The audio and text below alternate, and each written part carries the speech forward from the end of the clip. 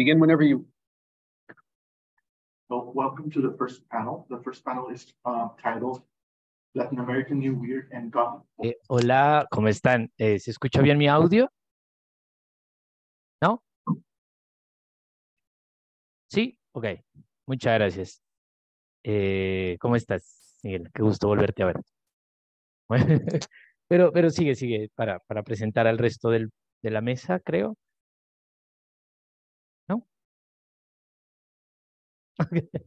La otra persona es Inés Ortiz. solamente. Okay. Mhm. Creo que podemos empezar con tu presentación, Rodrigo. Ok, ah, ¿prefieren que haga la presentación en inglés o en español? You prefer I, I made my presentation in English or in Spanish? problem is that if you're muted here. Yeah. And he's not muted, then you're not able to talk to him. So you gotta unmute anytime you want to say anything. Right. I know, I know. Thank you. Um, Rodrigo, it, it's really up to you. If you haven't presented in English, that, that's fine. Yeah. Okay. I I think I prefer make it in in in Spanish maybe because I'm I'm I'm clever in Spanish really. Sin problema, Rodrigo. sin- Okay. So, um, ay, perdón. Entonces, eh, voy a hablar eh, lento. Am, voy a hablar lento para, para, para, los, para quienes no hablan español. Tengo una presentación chiquitita, así que ah, voy a compartirla. Es chiquitita y simplemente me gustaría simplemente como una especie de guía. Ah, ¿Está bien? ¿Se alcanza a ver? Sí, muy bien. Muchísimas gracias. Bueno, muchis- muy buenos días y muchísimas gracias eh, a UCLA, eh, por un lado, eh, también a Miguel, a quien no veía hacía mucho tiempo y a quien admiro y quiero muchísimo, y a todas las personas presentes aquí, tanto los panelistas como a quienes están participando también, ah, escuchando, y bueno, espero que sea como, como interesante lo que vaya a decir. Eh, bueno, esta primera mesa en donde nosotros estamos es sobre New Weird y Gothic Horror. Y quisiera también empezar a hablar sobre algo que me parece muy interesante sobre el New Weird particularmente, y por eso también quería hablar en español, porque en América Latina la idea del New Weird tiene un gran problema, que es el problema de la traducción. Cada vez que nosotros hablamos sobre New Weird en América Latina, eh, lo primero que se podría, la primera gran pregunta que se hace dentro del New Weird justamente apunta a cómo podemos nosotros traducir la palabra New Weird para una literatura latinoamericana y por qué utilizar dos palabras anglófonas cuando nosotros estamos hablando de una literatura construida en América Latina bien sea en el caso del español o en el caso del portugués, principalmente en español. Siempre que he estado como en diferentes cursos eh, hablando sobre el New Weird, la primera gran pregunta es sobre cómo traducir el New Weird en español. Y esta traducción del New Weird, en el caso de la literatura, ha tenido como dos momentos muy particulares en donde el weird, y sobre todo eh, hablando eh, recientemente em, con con Ramiro Sanchís, que es uno de los grandes autores que también ha explorado la idea del New Weird. Él eh, hablaba sobre qué tan new es el New Weird, pero eso es algo que vamos a desarrollar un poquito después. Eh, pero para hablar de la palabra weird, digamos que las dos formas en las cuales se ha traducido normalmente el New Weird o se ha intentado hacer esa traducción del New Weird al español tienen que ver con dos palabras particulares. Una tiene que ver con lo raro y otra tiene que ver con lo extraño. Es decir, cómo podemos concebir el weird desde la idea de lo raro o la idea de lo extraño. En el caso de lo raro, tenemos dos grandes ejemplos de cómo se ha reconstruido esto y los dos son a partir de la teoría también anglo, pero me parece muy importante eh, retomar esto para ver cómo se ha reevaluado en América Latina. Y las dos ideas de lo raro tienen que ver con la propuesta de Mark Fisher en lo raro y lo espeluznante, y la otra con Graham Hartman en la idea del realismo raro. En ambos casos, lo raro está apuntando también a una visión que desde Fisher es, muy interesante, por ejemplo, como en el texto de Hartman, la palabra rara aparece justamente en la primera página con una serie de significados y con una serie de sinónimos del por qué interpretar lo weird o por qué traducir lo weird como raro.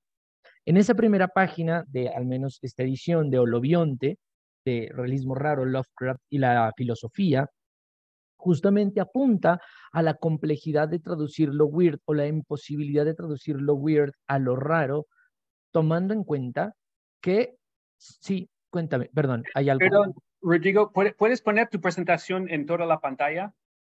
Ah, ok. Eh, compartir en presentation ¿Ah, mode. This Eh, sí, this sí, muy bien, muchas gracias. Sí. Okay, sorry, sorry, sorry. It's just uh, I, I don't see how it looks so. Um, entonces hay dos como ideas del cómo se ha traducido. Obviamente estas dos primeras sobre lo raro tiene que ver justamente desde las formas en las que se ha traducido uh, The Weird and the Eerie, en el caso de Mark Fisher, que se traduce lo raro y lo espeluznante, que son traducciones muy particulares. Pero por otro lado también eh, el realismo raro de Graham Hartman. Entonces lo raro está apuntando justamente desde el punto de vista Mark de Mark Fisher aquello que no debería estar en el, muy grosso modo, aquello que no debería estar en el lugar en el que está. Ah, algo en, perdón, algo en donde, eh, per- perdón, re- rehago la- la frase, lo raro apunta a algo que está en un lugar en el que no debería estar, grosso modo. Lo mismo va a pasar en algún punto con el realismo raro cuando Graham Hartman lo observa de nuevo, cuando está hablando de Lovecraft y retoma la idea Lovecraftiana de lo weird o lo raro, pensando también en la forma en la cual se construyeron las revistas pulp de Weird Tales. La gran pregunta que me gustaría hacer acá, lejos de cuestionar, hablar, repen- eh, repensar a Fisher o a Hartman, sería cómo funciona el adjetivo raro en español y cómo funciona el adjetivo raro para la literatura. Y el asunto eh, justamente apunta a que lo raro es un adjetivo muy amplio que básicamente abarca de manera general ciertos tipos de literatura en donde cualquier cosa puede ser rara. Por otro lado, y ahorita vuelvo a esto de lo raro, pero quisiera como volver a la traducción. Por otro raro, la idea de la literatura extraña, que ah, me parece mucho más interesante para la traducción, tiene que ver con cómo el lo extraño, no partiendo solamente desde la idea de lo extraño como un concepto amplio, sino desde el extrañamiento a partir del cómo Bertolt Brecht en el pequeño organón para el teatro, pero también cómo lo retoma de alguna forma en 1970 y algo Darko Subin en la metamorfosis de la ciencia ficción, en donde la define de manera, esto se ha revaluado una gran cantidad de veces, el ah, extrañamiento cognitivo. Y el extrañamiento cognitivo, que después autores como eh, autores, eh, otros autores lo han hablado como que el extrañamiento y la cognición son formas de ver lo literario. La idea de esto extraño me parece mucho más interesante porque justamente tiene un atado o una conexión directa con cómo la realidad se observa desde otro punto de vista y este otro punto de vista la transforma radicalmente. No simplemente tiene que ver con la idea muy fischeriana de que aquello que está presente en el lugar en donde no debería estar, sino que lo conecta directamente con una visión que nosotros podríamos llamar una visión eh, diagonal de la realidad.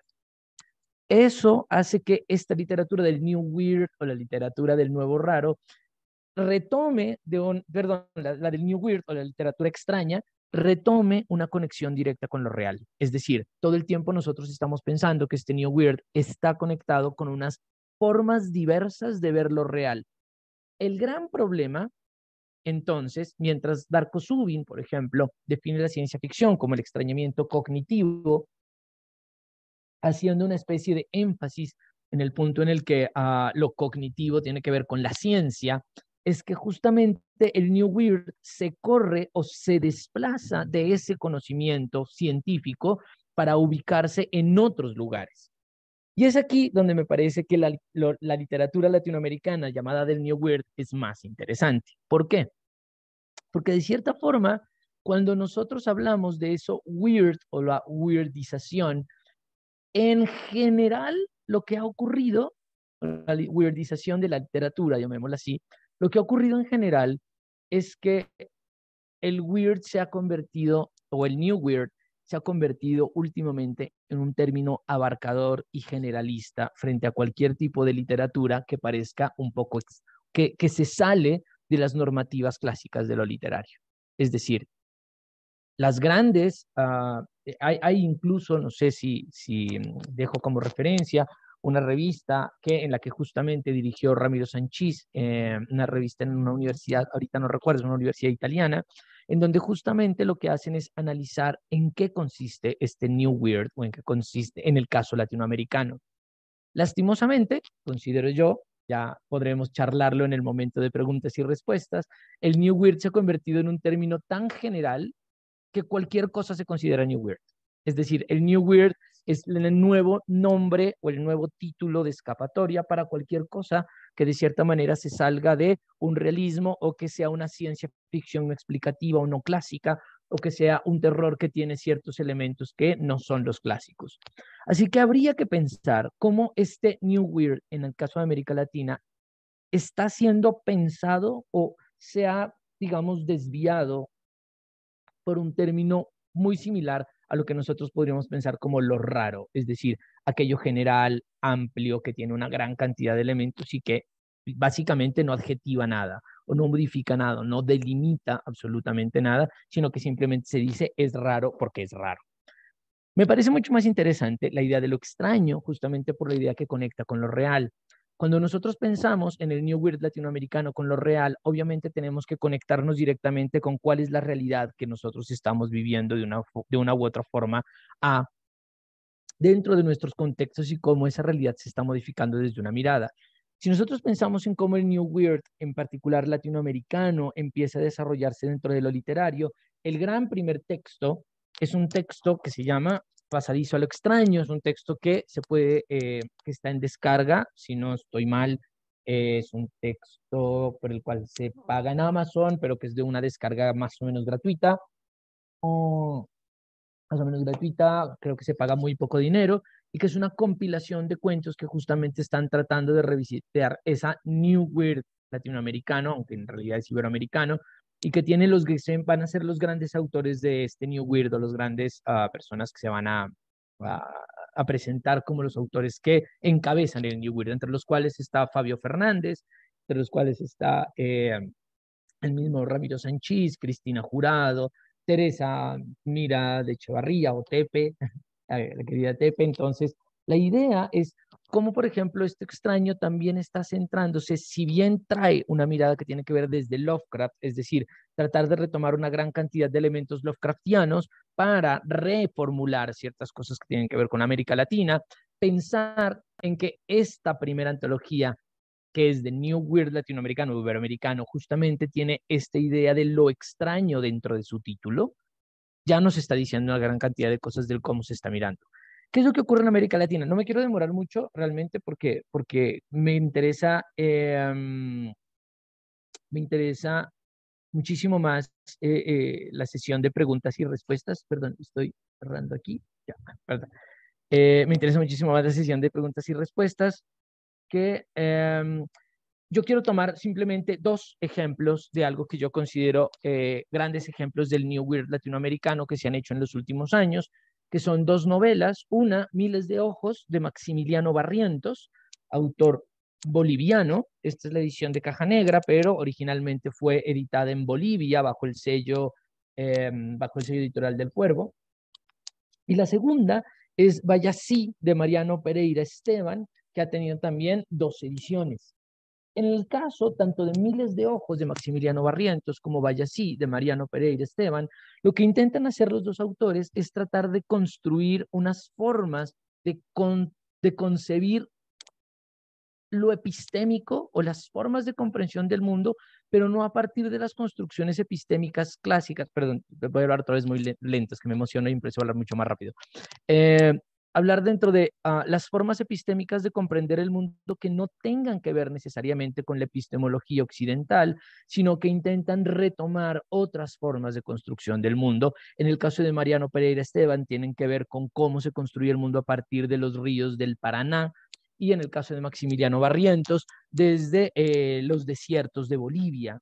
Estos dos espacios se convierten en espacios inmensos, grandes, hay algo diferente entre este, esta espacialidad del New Weird y la espacialidad de lo que vamos a ver como el terror gótico, que tiene que ver con cómo mientras en el New Weird pareciera que esta naturaleza amplia, exorbitante, eh, que está llena de paisajes, que está ah, imposible de abarcar, es recorrida por una serie de personajes que intentan develar los secretos que contiene y esos secretos que contiene conllevan una otra forma de ver el mundo desde los habitantes que están en ese lugar, particularmente en el caso de Vallasí de Mariano Pereira Esteban.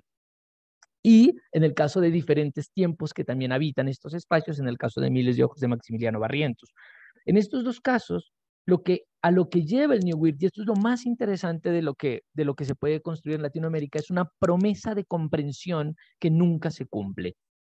Y esto es muy importante. Hay una promesa de comprensión, y, lo repito porque creo que es la base importante del New Weird en Latinoamérica, y es que siempre narrativamente hablando, estructuralmente hablando y literariamente hablando, se le promete, se le augura, se le insinúa al lector que a medida que se vaya a ir avanzando en la lectura, esa forma de comprensión del mundo que inicialmente pareciera totalmente imposible de tomar, con el tiempo se va a poder eh, comprender.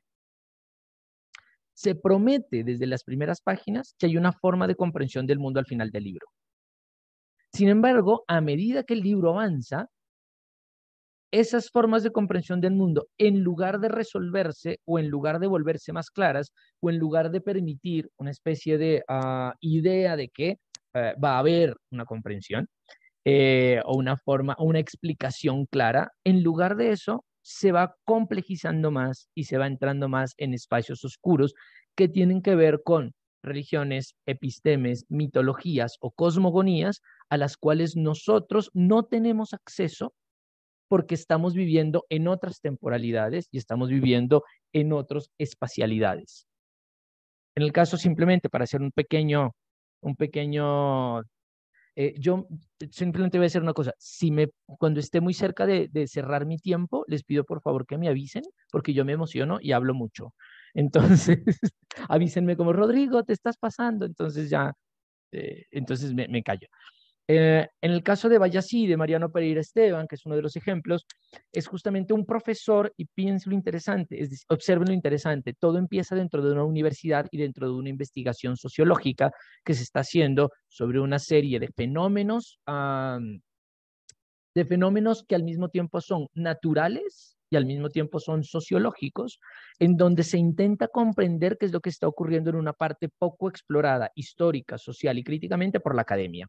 Frente a eso, un profesor, dos profesores de, la universidad, ahorita no recuerdo qué universidades, intentan comprender qué es lo que está ocurriendo en ese espacio lleno de ríos, llenos de caudales, lleno de espacios ah, eh, de, de, habitantes originarios que no se conocen totalmente bien, y a medida que se va entrando dentro de esta posibilidad de comprender el mundo, lo único que se comprende es que no se puede comprender. Es decir, es una especie de develación de que no existe unas formas de comprensiones de esos mundos a través de las cosmogonías, pero con la promesa constante de que sí se va a poder entender. Entonces, a mí me parece que ahí está el centro. Igual pasa en Miles de Ojos, es un poco más conocida, no sé si la han leído, pero eh, es buenísima, es una novela excelente, eh, que está dividida en tres partes, en donde Maximiliano Barrientos mezcla em, ciertos conocimientos sobre automóviles clásicos, grupos de heavy metal y dioses antiguos primigenios que están ah, habitando motores eh, malditos, ¿no? Motores de autos malditos. Entonces, todo esto al final, en una tercera y última parte del libro, se devela como una imposibilidad de comprensión del mundo a partir ya no del espacio, como en el caso de Vallasí, sino a partir del tiempo. Y este tiempo es, no podemos comprenderlo porque no habitamos esa otra dimensión temporal en la cual nosotros no podemos estar ubicados. Sin embargo, en los dos libros, y esto es lo importante del New Weird, insisto, es que siempre va a haber una promesa de comprensión que no se cumple. No se trata simplemente de que una literatura es así porque es rara, que es como esta idea como muy amplia, sino porque es extrañamiento del mundo a partir de otras formas de cognición, las cuales se nos dice que posiblemente podremos aprender, pero que siempre fallan o que están en un abismo de comprensión en donde siempre se nos está diciendo, esto no lo vamos a poder entender porque aquello en donde, y en este caso sí sería muy fischeriano, el caso en donde esté el conocimiento, no hay nada. Donde debería estar la comprensión, hay un vacío. Esto mismo se puede ver también, y avanzo rápidamente, en el cine, y simplemente quería nombrar dos Ah, películas que funcionan de manera muy similar, que son dos películas latinoamericanas, ah, que son La Argentina muere, monstruo muere, y la mexicana, La región salvaje. En estas dos películas, también desde un punto de vista muy cercano a lo Lovecraftiano, mm, hay una rarificación de lo real, y en ambos casos ocurre a través de la violencia contra la mujer, que es algo muy interesante para tener en cuenta, y cómo esa violencia contra la mujer se vuelve monstruosa y esa monstruosidad de la violencia se convierte como en un monstruo que, por más de que nosotros nos acercamos a la comprensión, nunca se va a poder volver real, digámoslo así. O nunca se va a poder acceder a la comprensión de la violencia como un acto netamente, eh, netamente claro o comprensible por nosotros. De la misma forma, para hablar un poquito y adelantar un poquito la idea del... del... Ah, ok.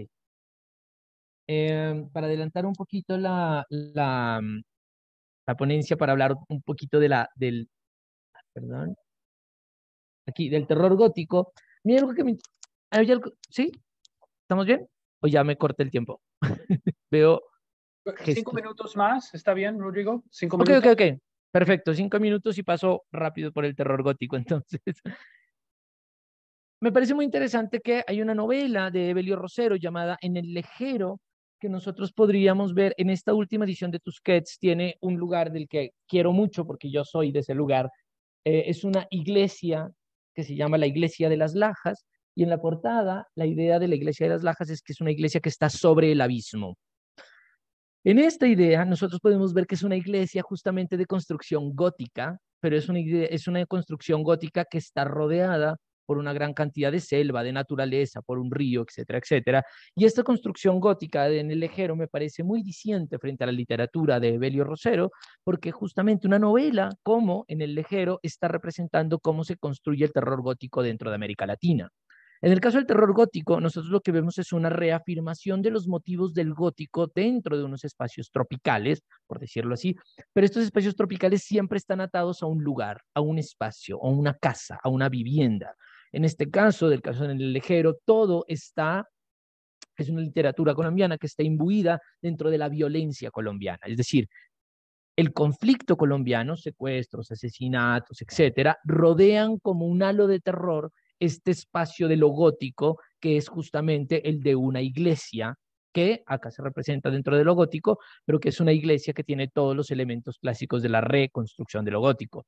Lo mismo va a pasar con dos novelas, eh, pero esto de la construcción de la casa o del lugar va a ser muy interesante porque ya en otros libros, como en el muy conocido Las voladoras de Mónica Ojeda, y en un en un libro que me parece increíble, que es muy bueno y que lo recomiendo infinitamente, que se llama De un mundo raro, de la ecuatoriana Solange Rodríguez Pape, que juega muchísimo con la idea del terror gótico, lo que hace es que esa casa o esa iglesia o ese lugar justamente se desplazan hacia un lugar mucho más amplio, que es el lugar de la montaña, o el lugar de la naturaleza, o el lugar de la jungla, o el lugar del volcán. Entonces, lo que se hace en el momento de América Latina, pasar desde el terror gótico la tradicional europeo hacia un terror gótico latinoamericano, es justamente trasladar el espacio de la casa, que es el espacio más importante para el terror gótico, desde el espacio cerrado de los castillos, por ejemplo, o incluso ese terror gótico que veíamos en Evelio Rosero con la iglesia, hacia un espacio más natural que tiene que ver con el trópico, la selva, la jungla, la montaña, el terror, etc. Eso lo hacen, por ejemplo, Solange Rodríguez Pape y Mónica Ojeda en estos dos libros. Sin embargo, la casa sigue siendo un lugar importante para este terror latinoamericano, pero ya no es la casa, ya no es la casa, eh, la casa cerrada como la casa encantada solamente, sino que son casas gigantes que justamente están atravesando, uh, que están atravesando justamente la casa como una encarnación de una tradición familiar y de una tradición familiar que tiene que ver con las formas de colonización que se han sufrido en América Latina. Es decir, ya la casa gótica no está representando el gótico del el gótico clásico de los castillos, sino que acá está también atravesado por una serie de, elementos de elementos del capital en donde justamente está representándose ese terror del postcapitalismo, ¿no? Ese es el caso de las grandes casas, de las grandes familias con los grandes nombres, en libros como el ya nombrado eh, Nuestra parte de noche de Mariana Enríquez o el Mexican Gothic de Silvia Moreno García, pero habría que pensar también, y quisiera cerrar con este tipo de cosas, en volver a pensar qué tipos de casas terribles se están construyendo y es justamente una lectura que, volviendo a Ramiro Sánchez, hace en el momento en el que ve la casa de encanto. Y la idea es, ¿qué tal si nosotros podemos ver la casa de encanto a partir del lente del terror gótico? Es decir, es una casa que tiene absolutamente todas las características que tiene el terror gótico. Tiene un sótano, tiene como augurios, tiene una gran cantidad de elementos, sino que es pasado a través del filtro de Disney, digámoslo así, y ese filtro de Disney convierte la casa encantada en una casa buena. Sin embargo, si nosotros observamos la estructura misma del terror gótico y nosotros vemos Encanto como una casa de terror gótico, lo que nosotros podríamos ver es justamente cómo ese terror gótico se configura ya a partir de una identidad latinoamericana como el espacio de la familia y un espacio de la familia, como pasa en nuestra parte de noche o como pasa en Mexican Gothic, como un apellido. El apellido de la casa se configura como el terror gótico. Y cierro con la última filmina, porque ya sé que estoy como cortito de tiempo. Entonces, eh, simplemente quería dejar, el, ya que puse dos películas antes cuando estaba hablando del New Weird, me parece también importante hablar de la incursión del gótico tropical como un género que en 1980 ya estaba siendo analizado por una serie de autores, entre los cuales se encuentran Andrés Caicedo, que hizo un corto y es como el escritor más reconocido de esta generación, que hizo un corto que se llama eh, Miguel Ángel y Angelita, pero que está mejor representado en tres películas de este grupo de Cali, que se llama, y quería nombrarlo también porque son colombianos, que son Luis Ospina y Carlos Mayolo, en esta trilogía de películas, Pura Sangre del 82, eh, Carne de tu carne del 83 y a La mansión de Araucaima del 86, que La mansión de Araucaima está basada en un cuento de Álvaro Mutis, que justamente se, e, es, como sub, es que tiene un subtítulo que es justamente eh, terror en la selva o terror gótico, terror tropical, eh, en donde justamente los espacios selváticos y tropicales funcionaron como espacios del terror. Me parecería interesante retomar todas estas cosas que se están haciendo desde los 80 para pensar que si bien el terror gótico es algo que está funcionando actualmente como un nuevo movimiento literario, ya desde la década de los 80 venía trabajándose en el caso del cine con estos tres con estas tres películas que yo recomendaría infinitamente ver igual. Pero me interesa más, dejo ahí, porque, porque tenemos a Inés también y me gustaría también muchísimo charlar eh, y con preguntas y respuestas. Perdón por el tiempitito que me demoré de más. Eh, listo. Muchísimas gracias, perdón por lo rápido y gracias.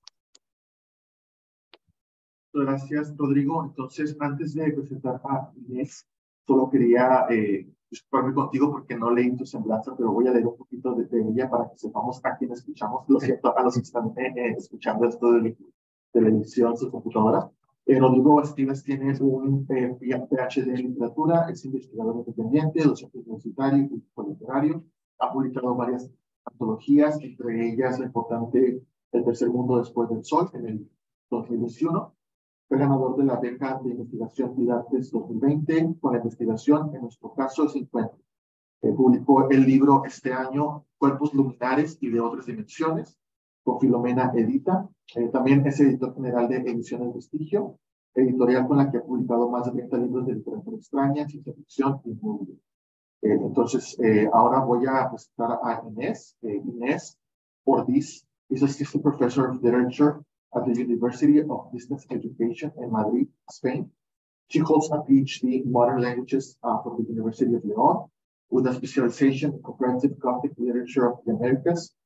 Uh, she has worked at the College of the Holy Cross, uh, the University of Washington, and the University of Stirling. Uh, she is author of multiple articles and book chapters focused on the manifestations of fantasy and horror in the Americas, with special attention to Gothic and gender in Latin American in Latin American literature.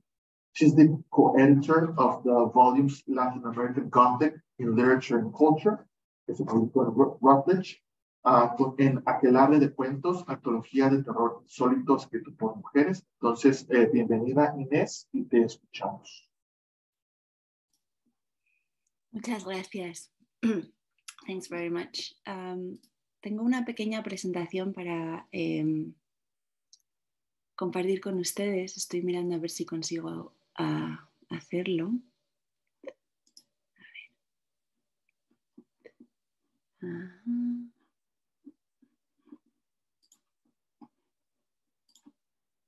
¿Pueden ver eso bien? Sí, ok. Sí, pero si puede, eso. Ajá. No problema.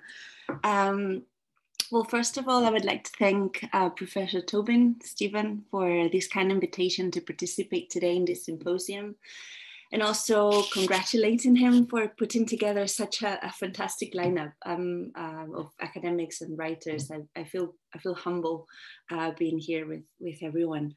Um, I would also like to stress that uh, obviamente hablo español. Estaré encantada de contestar a sus preguntas en español. Podemos tener una conversación al final en esa lengua. La única razón por la que mi presentación está en inglés es porque, um, as requested by the organization of the symposium, um, what I'm going to talk about today is a, kind of a summary of uh, a chapter that I co-wrote and published with my friend and admired colleague um, Sandra Casanova Vizcaíno, and that's published in the Palgrave Handbook of Contemporary Gothic. So if you're um, curious uh, if whatever essay is not enough today, you can always go to the source and, and read us there. Um, so I'm just going to start because I don't want to, to go over time. Um, so in his introduction to the influential Antología de la Literatura Fantástica, Jorge Luis, Jorge Luis Borges defines the Castle of Otranto as a representative of a tedious genre of uh, castles, spiderwebs, storms, and bad taste. This judgment summarizes the canonical view of Gothic and horror literature in Latin American criticism during the larger part of the 20th century, a rejection that in many cases had more to do with terminology than with a dismissal of Gothic forms. The Antología includes short stories featuring vampires, ghosts, and old castles.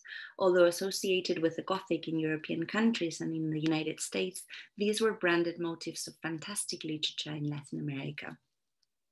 Other forms of non-mimetic representation, some of which will be thoroughly discussed in this symposium, uh, thankfully, uh, were also re rejected during, the 20th century in favor of a focus of magical realism and or lo real maravilloso, uh, como, que como ya saben, um, was defined by Alejo Carpentier as a literary representation of Latin American and Caribbean beliefs, identities, and relationships with reality.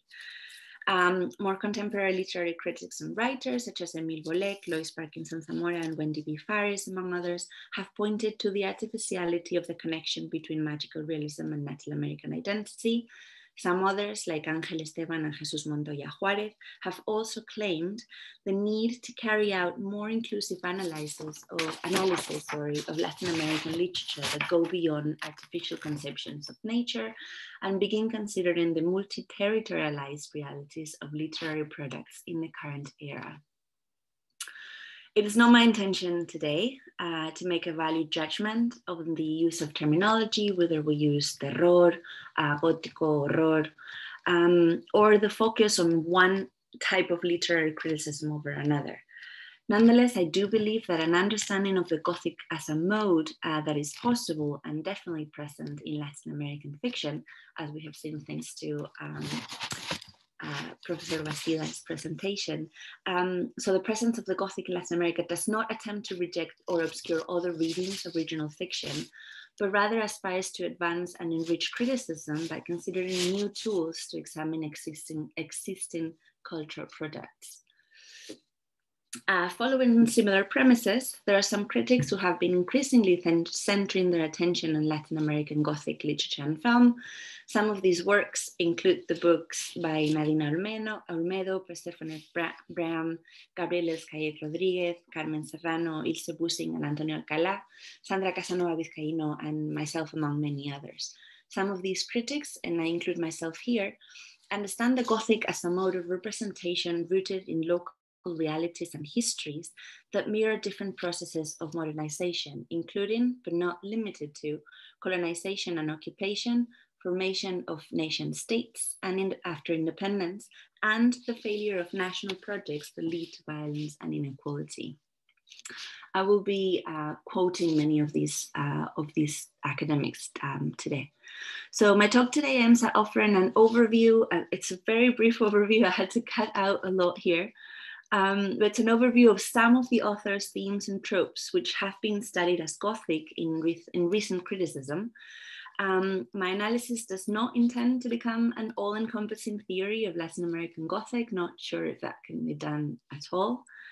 But I do plan to talk about some fictions that, in my opinion, and in, my, in the uh, opinion of the co-author of, of, this, of this work, represent the different ways in which Latin American authors have recently engaged with the Gothic imagination, mostly in the 20th century and at the beginning of the 21st.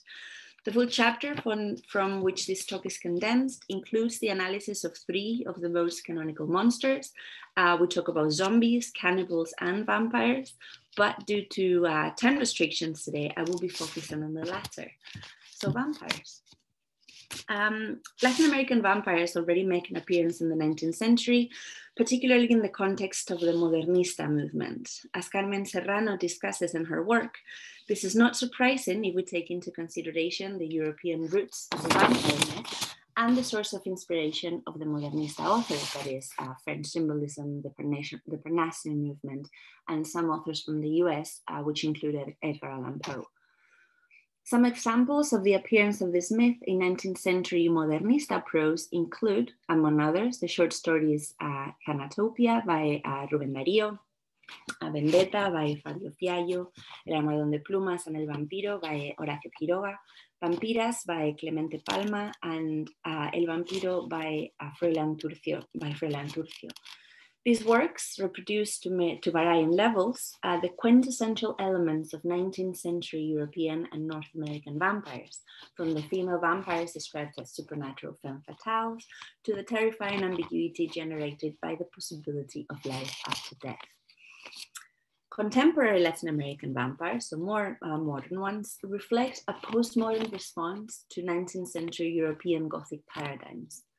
Whereas some authors approached the vampiric myth from a parodic perspective, others reproduced easily recognizable motifs of vampire fiction that reflect the intertextual conversation established with the Gothic tradition. These fictions reappropriate characters, scenes, and key passages of well-known vampire narratives to displace them, transpose its main elements, and in some cases, and using Elskaye Rodriguez's theoretical background, tropicalize them. Examples of these processes are the creative appropriation of Dracula's voyage to London in the ship Demeter in the novelas El viaje que nunca termina by Peruvian author Carlos Calderón Fajardo and La ruta del hielo y la sal by uh, José Luis Zarate from Mexico, Zarate. Zarate's text is the most obvious homage of Bram Stoker's Dracula, since it includes a direct translation of the extract from Dracula contained in the Demeter's logbook.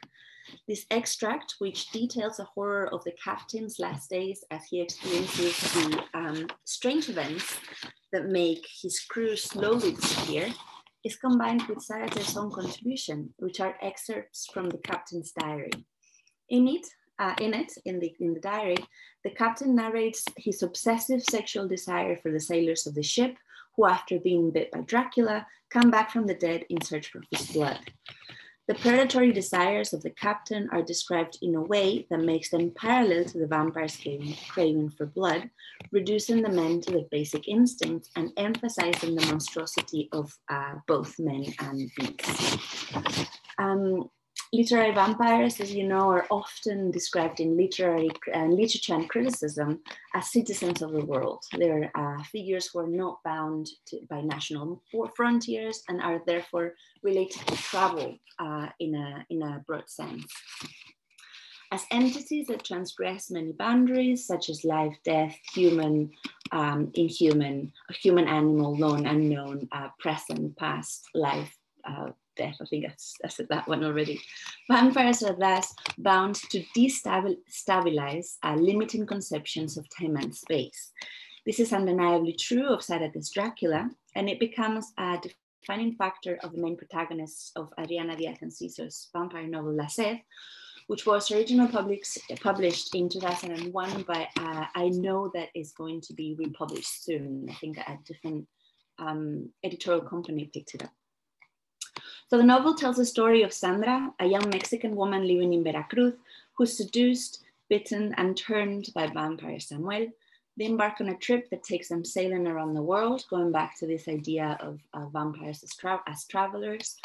Um, the novel is focalized through Sandra and Samuel's perspective, which allows the reader to be familiar and empathize with the feeling of the vampires, which um, it mimics a process um, that humanizes the other by granting it a voice and illustrates the late uh, 20th century evolution of the vampire made prominent uh, by uh, Anne Rice's, by, by Anne Rice in English literature, in literature written in English. La Sed exemplifies a type of contemporary literature written in Latin America that aims to explore universal topics beyond conceptions of nationhood and national identity. The vampire in this context becomes the perfect representation of a Gothic subversion of these limits. Um, Mexican writer Carmen Bollosa's Isabel, included in the volume of short stories Prosa Rota from 2000, also engages in an intertextual dialogue with this global Gothic tradition. The Gothic elements included in the story are mixed with motifs and tropes from erotic literature and melodrama, which create a postmodern portmanteau that deconstructs literary genres and narrative devices. The line differentiating uh, reality and fiction is constantly put into question by the writer's proclamation that the story is true, and I quote, is happening right now. Bollosa's main character transforms into a vampire after her partner breaks her heart.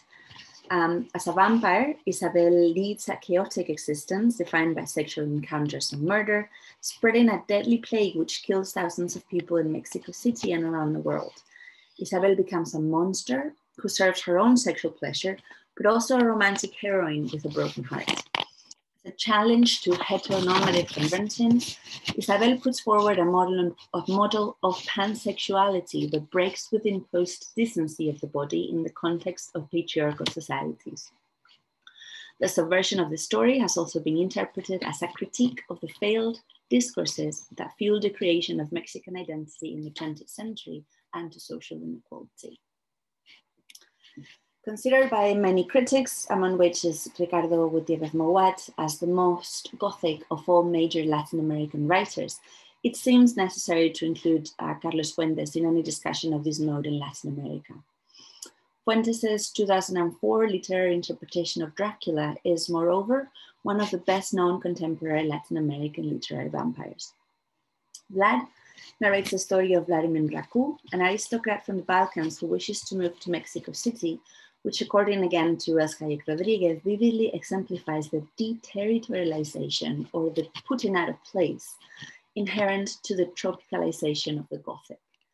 Vlad is in fact a reinterpretation of Dracula with a Mexican tone, which acts both as homage and a parody, not only of Stoker's original, but also of his multiple adapt adaptations to the big screen um, of other literary and cinematic vampires and of the historical context that allegedly inspired, uh, inspired the myth. So like some filmic adaptations of the story, including uh, Coppola's version, Francis Ford Coppola's version, Fuentes' novel evokes Vlad Tepes, Tepes as a historical figure. Vlad, like Coppola, like Coppola's Dracula, no, like Coppola, like Coppola's Dracula, wears an embroidered long robe and never drinks wine. Um, he also owes his baldness, bright white skin, and long glassy nails to the vampire put into screen by F.W. Murnau and Werner Herzog. As in the case of Isabel, uh, Vlad becomes a pastiche of historical accounts and intertextual references to the Gothic tradition and the, and the horror genre with a Mexican twist. Um, the different portrayals of the vampire that I have discussed very briefly today update this timeless creature and imbue it with local elements, exemplifying some of the transnational movements of cultural products that define, in my opinion, uh, the Latin American Gothic. Uh, I move on. I move on from vampires, um, and the final part of my talk today is called New Directions or New Directions in Gothic Horror, and I think this is going to overlap a little bit with what uh, with what Professor Bastidas was, was talking about earlier on. And I would be very interested in uh, engaging in a conversation regarding, regarding what I see as, as new directions as well. So um, whereas it is hard to anticipate what literary cultural productions in Latin America and Caribbean countries uh, might be heading towards, it is easy to observe that many 21st century Gothic fictions of the continent seem to reflect a self-awareness of the transgressive possibilities of the Gothic mode or of, of, of, of, of the terror of, sorry, of, of terror. In many cases, many Latin American Gothic writers are avid readers of Gothic literature from different world traditions. Most of them, moreover, are aware of the possibilities of the mode to question and criticize local realities. A critical perspective and an awareness of a global terror and horror tradition is combined here, in, uh, with an interest in reflecting local system of oppression and social and ecological injustices, going back again to what, what uh, Professor Bastidas was saying. Examples of this type of fictions include, among others, and again, there are many, uh, some of them, some authors have been already mentioned, like Ojeda, Rodriguez Pape, or Moreno Garcia, uh, but the uh, two authors that I'm going to talk about are uh, Mariana Enriquez, Las Cosas que Perdimos en el Fuego, and Samantha Sweblin's Distancia de Rescate. Um, I would also like to mention that when Sandra uh, Casanova, Professor Casanova, Casanova Vizcaina, myself started writing this chapter, or the chapter in which this talk today is based on, um, it was 2018. So the translation into English of both these texts had just come out. Um, in the past four years, since these uh, texts were translated into English, both, both authors have received a very well-deserved international recognition, as you know, and a lot of critical attention, um, which uh, complements what I'm going to, to be talking about today.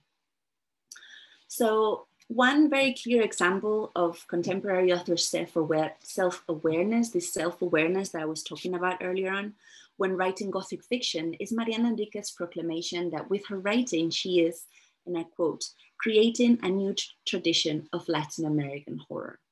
That is, laying the foundation for a new horror folklore that reflects Argentinian local issues. This is particularly relevant if we take into consideration the worldwide recognition that the author obtained after the publication of, of this volume, now translated into several languages.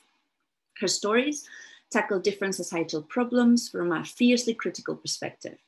The short story uh, No Flesh Over Our Bones, Nada de Carne Sobre Nosotras, uh, for instance, attempts to take the conversation about mental health issues outside of the medical discourse by focusing on a woman who falls in love with a skull.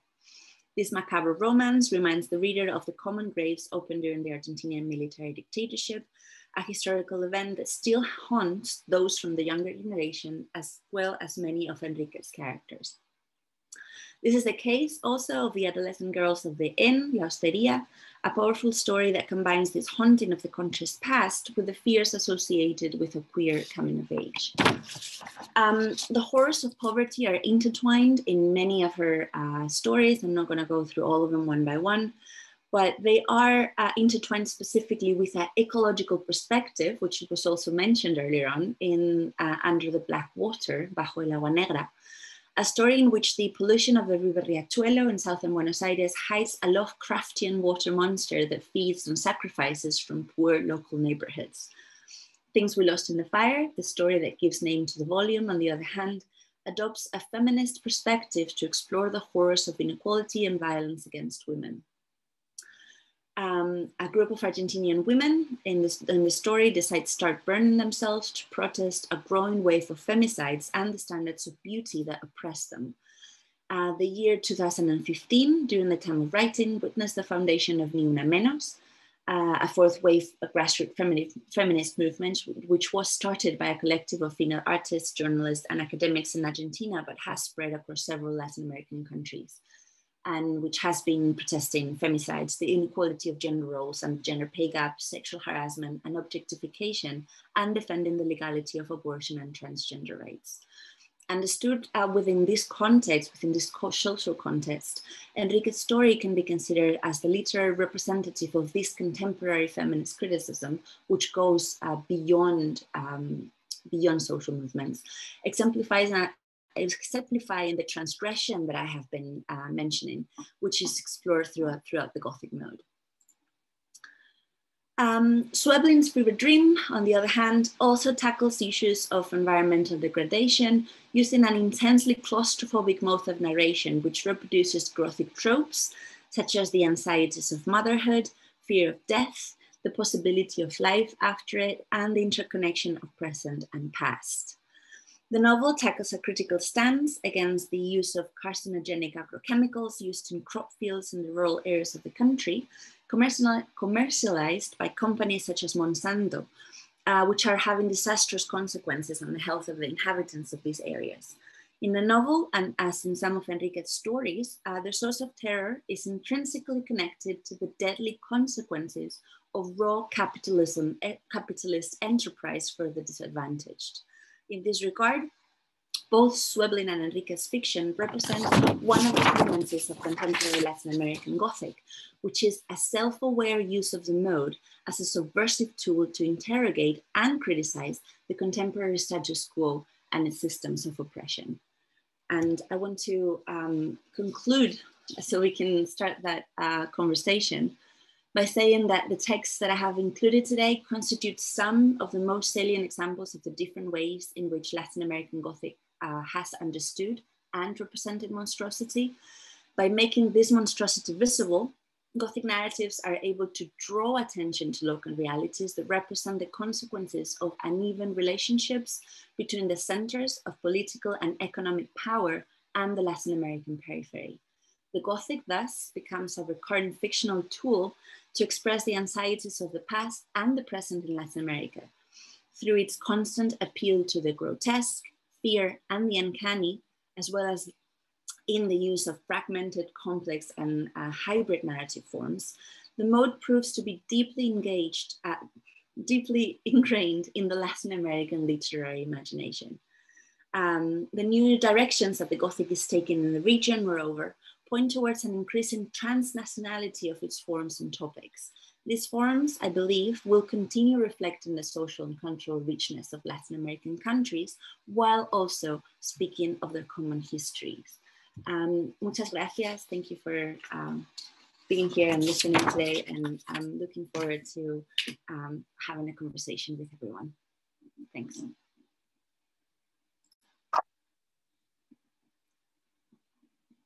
Very much, Ned. Thank you, Rodrigo. We have some time for questions um, and answers. I, I, know that there's already a few questions in the Q&A session. Should we begin there? I think we'll, we'll if anyone wants to ask, ask the question, especially from back there, if you can come up to here, uh, if it's a slightly involved question, that would be ideal. Does anyone have a, a question? Or do you want to go with the, the Q&A? Maybe we can begin with the questions that are, are already, okay. already there. Uh, I know Rodrigo was beginning to um,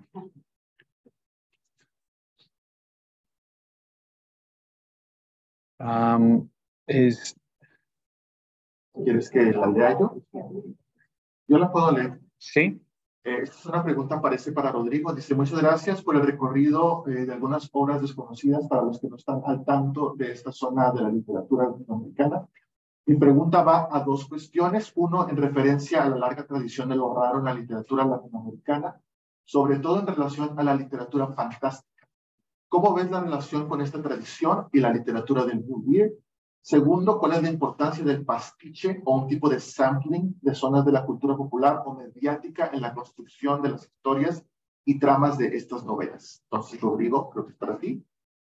Eh, eh, hola, ¿cómo están? Creo que justamente Jorge después dice, ah, Inés está refiriéndose precisamente a esto, así que ah, creo que Inés puede, que, y muchísimas gracias Inés, estuvo increíble eh, la, la, exposición, recordé el libro de José Luis Zárate y se me pusieron los pelos de punta recordando ese, esa fabulosa novela de la ruta del hielo y la sal.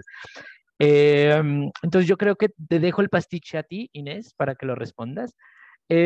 pero pero me parece interesante la forma en la que ah, se puede pensar el fantástico, por ejemplo, eh, dentro de América Latina en, en, en, relación con el New Weird, porque básicamente, y a mí me parece muy interesante que el New Weird, yo insisto en la promesa de la comprensión del mundo a partir de unas construcciones epistémicas posibles, en las cuales lo fantástico, muy más pegado a la, a la idea del, de la fantasía, por decirlo así, no está pegada.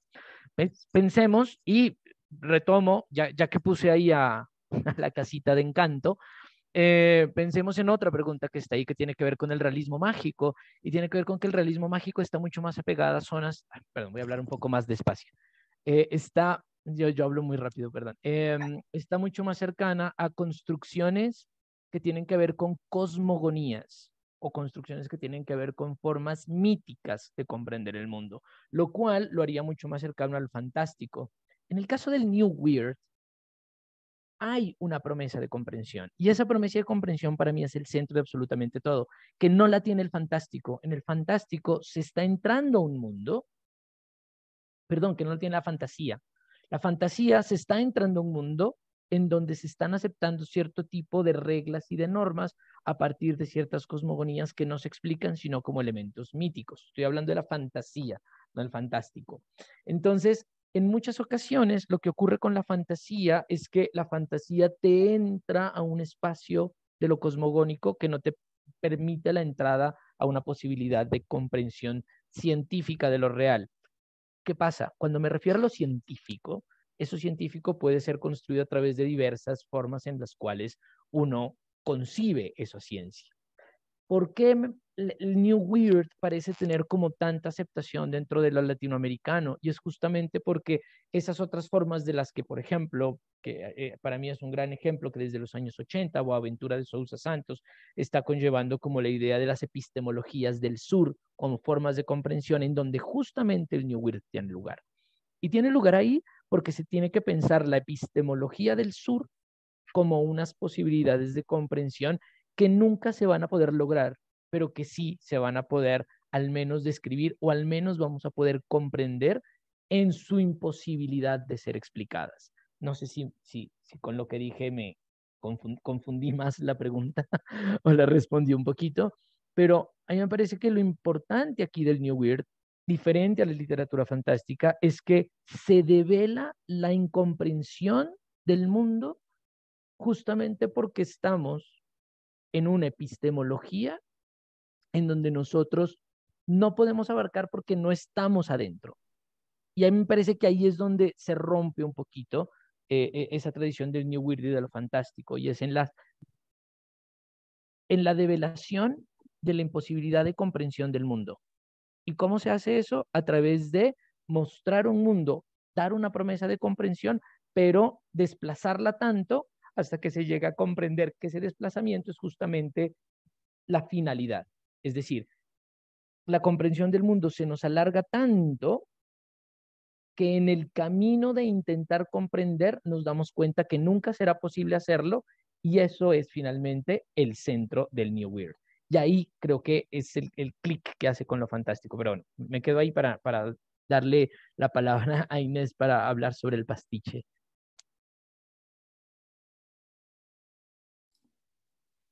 Gracias, Rodrigo. Gracias por las preguntas. Me parece una pregunta excelente. Em, ¿Cuál es la importancia del pastiche o el sampling de zonas de la cultura popular o mediática en la construcción de las historias? A mí me parece que tiene una eh, importancia, em, una importancia excesiva.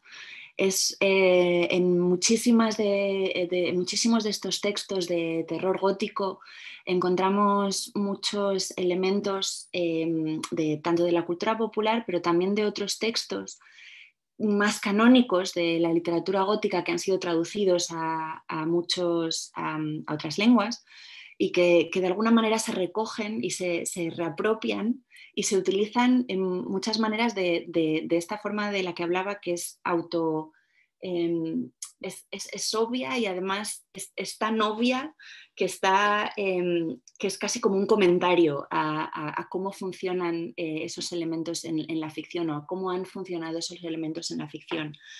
Em, el gótico desde los orígenes siempre fue un modo que, jugó mucho con esto, jugó con, mezclar fuentes, con mezclar, eh, mezclar fuentes de inspiración, mezclar em, tiempos. Em, eh, romper límites, romper eh, fronteras entre, entre, cosas. Entonces no es, no me parece, no es eh, sorprendente que a la hora de, ver cómo funciona el gótico en, la posmodernidad se utilice mucho eh, este pastiche y esta presencia de, tanto de otros textos como de elementos de la cultura popular.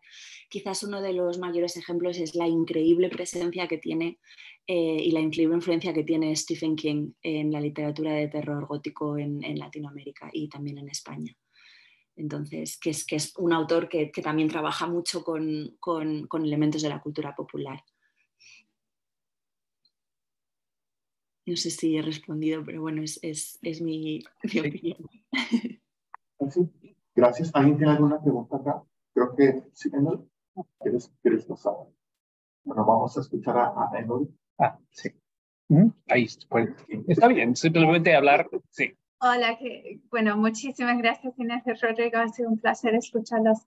Em, yo tenía una, una pregunta o, quisiera que ustedes hablaran un poco más sobre la presencia de Lovecraft en América Latina y, qué, y, y el significado de él y su obra cuando pasa la frontera, ¿no? Porque obviamente es una, sobre eso, obviamente una piedra de toque en, en la literatura anglófona, pero, pero dado el contexto diverso en América Latina, con todas estas otras referencias, estas otras tradiciones, ¿qué, función cumple ahora, en, sea en el New Weird, sea en lo raro, sea en lo gótico?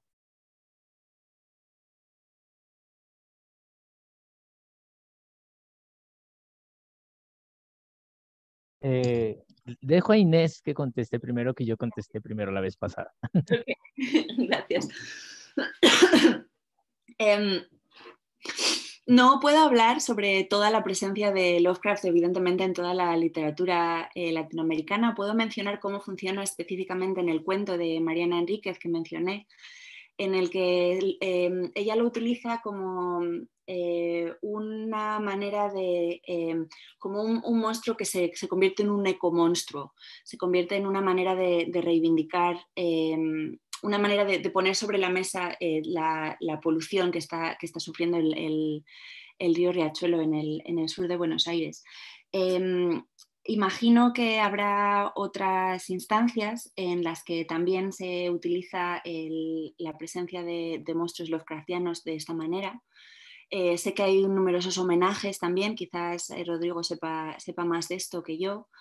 Em, pero te puedo em, mencionar el trabajo de Antonio Alcalá, de, que trabaja en el Tecnológico de Monterrey, que sé que es un admirador de, la literatura de, Lovecraft y que también trabaja con el gótico latinoamericano. Y estoy segura de que una búsqueda rápida de su trabajo puede, puede puede arrojar más luz sobre este tema. Eh, gracias, gracias Inés.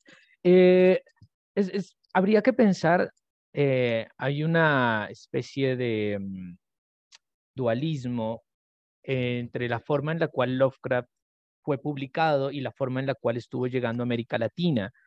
Y es que Lovecraft ah, fue publicado en Estados Unidos dentro de estas ideas de las revistas del Weird y posteriormente también fue muy conocido en América Latina a través de este tipo de publicaciones que son mucho más populares de papel barato, con publicaciones que no fueron académicas, caras, etcétera, sino que tuvieron un acceso como muy inmediato, a, mm, inmediato al público popular. Entonces, eso de cierta manera permitió que ah, la literatura de Lovecraft tuviera como una especie de, ah, de lectura popular y generalizada y que se pudiera fácilmente retomar dentro de América Latina.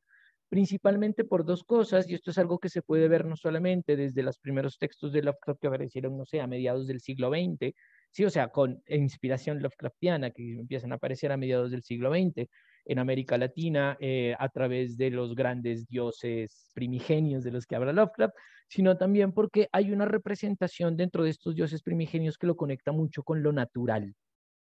Es decir, hay una especie de encarnación de estos dioses, ya no solamente dentro de, lo, dentro de los espacios ah, urbanos como tal, sino que hay una eh, encarnación o una relación muy cercana entre estos dioses Lovecraftianos y el espacio de lo natural, cosa que aquí en América Latina caló muy bien básicamente porque el lugar al que podían llegar estos dioses eran justamente lugares oscuros, ominosos, relacionados con la jungla, relacionados con espacios que se tienen que habitar o que son pueblos perdidos en la mitad de la nada, digámoslo así, en donde ocurren cosas raras que en el caso de Lovecraft eran Arkham, etcétera, etcétera. Em, y que aquí en América Latina también se podían representar como lugares, espacios, pueblos, lugares que estaban muy del lado de aquello que estaba enclavado dentro de la naturaleza. Entonces, ah, las reescrituras que se han hecho de Lovecraft, que tal como Inés en algún momento nos estaba comentando sobre, se han hecho una gran cantidad de antologías últimamente, pero también unas reescrituras. El caso de Mariana Enríquez me parece como, como clásico en, toda la novela de nuestra parte de noche. Uno puede ver que ella lo que está haciendo es una serie de reescrituras de diferentes formas en las cuales Ah, se ha escrito el terror. Entonces hay terror tipo Stephen King, hay terror tipo Lovecraft, hay terror tipo, no sé, folk horror, etcétera, etcétera, pero que es una serie de reescrituras. Yo leo nuestra parte de Noche de Mariana Enríquez como una especie de gran historia narrativa de los diferentes géneros del terror y cómo se entrelazan y se unen. Pero también, eh, no sé, aquí en Colombia hay un libro, por ejemplo, que se llama El diario de Tony Flowers, eh, de un autor que tendría que buscarlo, ahorita no me acuerdo bien, eh, tengo otro computador aquí al lado, entonces voy a buscarlo en este otro computador. Em, en donde justamente lo que está es un libro relativamente eh, de Octavio Escobar Giraldo, que es un libro relativamente nuevo, en donde también del 98, el cual lo que hace es retomar las historias de Lovecraft y reubicarlas dentro de la ciudad de Medellín. Entonces, yo creo que la conexión clara entre Lovecraft y el New Weird o el terror gótico en América Latina justamente apunta a la idea en que esos dioses primigenios, dentro de un punto de vista ominoso, grande, casi que ah, como una especie de entes gigantes que están poblando, tienen una representación muy clara con lo natural. Y lo que ocurre aquí tiene que ver justamente con ese retomar la naturaleza, la jungla, la selva y estos espacios de la naturaleza como formas de ah, de dioses primigenios que permiten de una u otra forma pensar el terror desde ese lugar Lovecraftiano, ¿no? Actualmente sí hay como Lovecraft está muy, muy, muy presente, sobre todo porque muchas personas, sobre todo al inicio del New Weird, vieron el New Weird como una especie de reescritura en clave Lovecraftiana de los mitos clásicos americanos. Entonces hay como una gran cantidad de, de, de visiones sobre eso. Bueno, pero sí, no, no me alargo más, yo me emociono y hablo mucho. Entonces, corto ahí. Gracias. Tenemos eh, tiempo para tal vez una o dos preguntas. ¿Quieres que vayamos al Q&A? Eh, ah, bueno, David. Bueno, viene, viene David Dalton sí. a preguntarte algo. O a ah, Rodrigo Oye. Bueno, a los dos. Este, yo tenía una pregunta acerca de, bueno, los dos hablaron algo del realismo mágico, ¿verdad? Y me parece que hay como un, un binario implícito que, que están estableciendo entre entre el realismo mágico y luego literatura gótica, ¿verdad? Pero me pregunto si, si este binario realmente es tan, es tan fuerte, ¿verdad? Porque los dos me parecen, parecen ser modos. Este, y pienso sobre todo en, por ejemplo, Carlos Fuentes, que mencionaron, eh, mencionaron su novela Vlad, pero me parece que otros escritos como, por ejemplo, Aura o, por ejemplo, hasta Chuck Moll, ¿verdad? Parecen parecen, este, por un lado, tener elementos mágicos realistas y por otro lado, tener estos elementos góticos. Y quería saber si, si puedan hablar de o indagar esta división entre realismo mágico y lo gótico. Eh, voy, ¿quieres Inés? Yo tengo una respuesta a esto. Entonces... Dale, dale, Inés, por favor. Pero vete adelante si quieres, no pasa no, nada. No, no, no, por favor, por favor. Primero y mientras tanto pienso. Ok. Eh, gracias por la pregunta, David. Un saludo, un, un placer saludarte. Eh, es, es, un tema eh, sobre el que eh, he trabajado un poquito y está también mencionado en el, en, el, en el capítulo desde el que saqué la charla de hoy, porque es, es yo creo que, que, se puede, que ambos modos pueden aparecer eh, conjuntamente. Eh, de hecho, eh, la académica Lucy, Lucy trabaja sobre, ha, trabajado alguna vez, ha publicado cosas sobre el gótico en novelas que se han, eh, que se han considerado tradicionalmente novelas pertenecientes al, al, realismo mágico.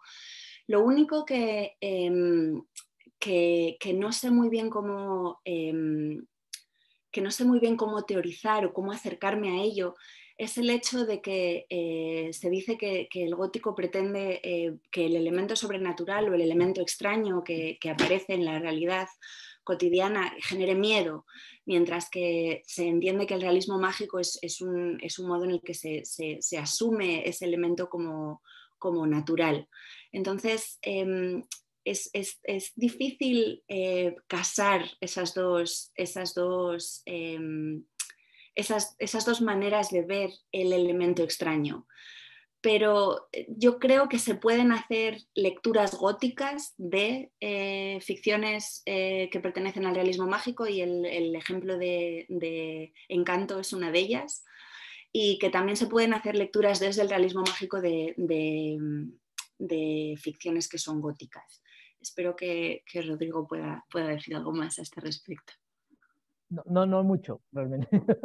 no mucho. Eh, estoy totalmente de acuerdo, totalmente de acuerdo con Inés, que tiene que ver con, hay ciertas estructuras que parecieran que funcionan y sobre todo en el caso del gótico, eh, la idea de las grandes familias que están como representando una historia de un país. Estoy pensando no solamente, pues obviamente en, en, en, Cien años de soledad como realismo mágico, como ese gran icono del realismo mágico, sino también eh, con textos incluso de Mario Vargas Llosa, y bueno, textos de Carlos Fuentes, etcétera. Pero eh, hay algo que a mí me, mm, me, me tiene como un muy claro, muy, que, que siempre me causa un poquito de ruido, y tiene que ver con que el realismo mágico definido como realismo, que tiene un adjetivo que es mágico, eh, me causa ruido porque, bueno, yo soy alguien que he estado leyendo todo el tiempo como literatura de terror, ciencia ficción, fantasía, y cuando yo leo estas obras de realismo mágico, yo prefiero, uh, yo prefiero como quitarle ese mote del realismo y decir básicamente que uh, el realismo, eh, una novela como Cienos de Soledad es básicamente fantástica. Es decir, para mí forma parte de la literatura fantástica, así como también el gótico del terror forma parte de la literatura fantástica. Y eso las hermana aún más y, digamos, borra una especie de diferencia, como si el realismo mágico fuera una especie de legitimación de literatura fantástica que, como es buena, se le pone otro nombre y se le pone un nombre que está relacionado con el realismo. Entonces, uh, hay, una, hay, hay como, como una una hermandad muy cercana entre estos y nosotros pensamos el realismo mágico no como esa legitimación de la literatura fantástica, sino como una, una literatura efectivamente fantástica, eh, no como un realismo mágico que, es, que ha sido legitimado, sino como literatura fantástica, quiero decir, en donde las hermana muchísimo más con el gótico y nosotros podríamos, de cierta manera, unir en ese campo a través de una mirada, tal como dice Inés, eh, de poder leer, por ejemplo. Insisto en nuestra parte de noche porque me parece que es como el caso paradigmático de la familia, la casa, que está atravesando una historia y que se podría leer estructuralmente como nuestra parte de noche puede, igual, puede equipararse estructuralmente a una novela como Cien años de soledad. entonces, en o a encanto, ¿no? O sea, para mantener el, el, el, los, el trío ahí. Entonces, eh, yo diría que sí, hay como muchos elementos, siempre y cuando como empecemos a ver al realismo mágico como el término, como un término de legitimación que me, académico de cierta manera eh, y editorial, y quitar ese término y convertirlo en literatura fantástica, podemos encontrar como elementos de coincidencia mucho más fuertes y mucho más uh, elaborados entre este gótico y esta, este, este realismo mágico.